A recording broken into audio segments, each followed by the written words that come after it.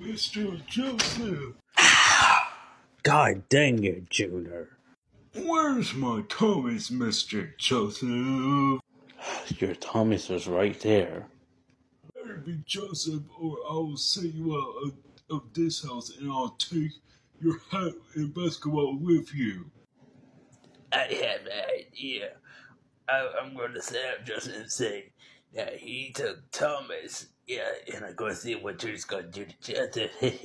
I'm ready to meet the dishes to do some ritual for my Here, Junior, uh, uh, Joseph took Thomas away from you again. the kind of myself, huh? Joseph. Oh God, what this pub wants from me now. Joseph!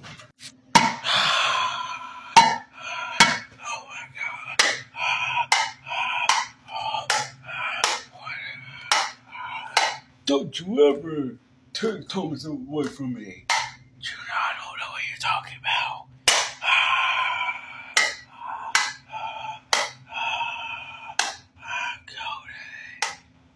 Cody. you